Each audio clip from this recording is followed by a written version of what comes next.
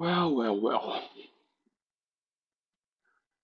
On a previous video, I showed how to create a sample data via TSQL.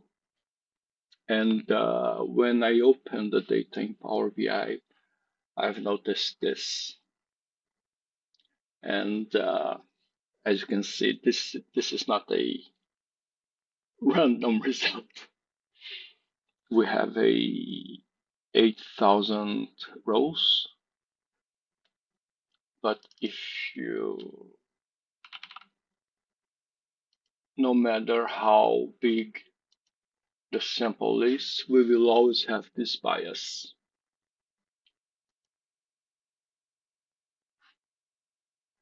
So let, yeah, let's shorten it a bit.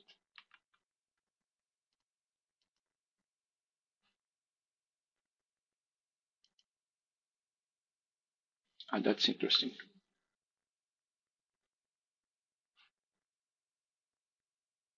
Let me 400 rows, 1900. Let's see how many rows it will we will get. Oh, 40,000 rows. Uh, yes. I will this will bring us a very interesting function. I will investigate it further, but not for this video. So yes, there we have a bias here using the rand function. So I don't know why, but uh, then I just tested a little bit more, and by taking out the country name and updating it after the table creation, we can easily fix it. Let me just, uh, the calculations are all the same. Just this part is being done on a update. Nonetheless, this is a very, very interesting case. Yes, let's see. There you go.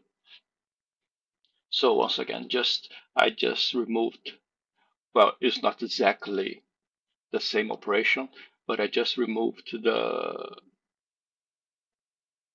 let's say, the naming steps from the cre it is not a creation step.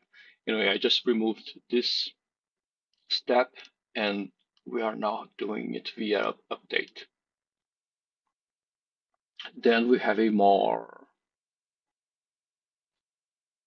a more expected, more or less what we expected as a result.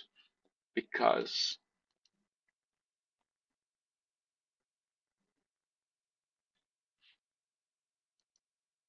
using a random function, this is definitely what we don't want.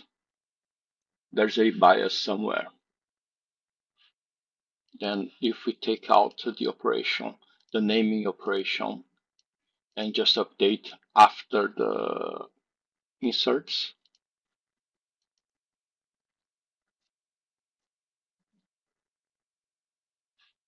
now we have a better sample data. That's it.